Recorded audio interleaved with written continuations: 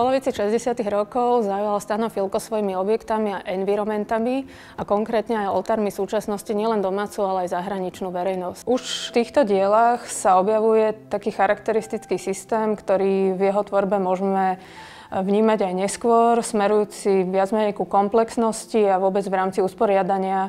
rôznych kombinácií znakov a prvkov, ktoré aj práve v tomto oltári možno vidieť e, v takej neúplne súrodej kombinácii fotografií z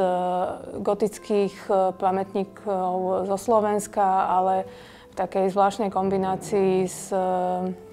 s fotografiami žien z erotických časopisov, ktoré sú dokombinované v prvom pláne mm, aditívne pridávanými objektami ako klince, črepiny, zrkadla, nábojnice a ktoré v podstate slúžia na prípadné aplikovanie určitej siete, ktorá vytvára prvý plán tohto objektu keď sa okolo roku 2003 začal budovať domáci trh aj so súčasným umením, oltáre, ktoré sa objavili v ponuke na verejnom trhu, boli ponúkané e, v zásade okolo sumy 100 tisíc slovenských korún.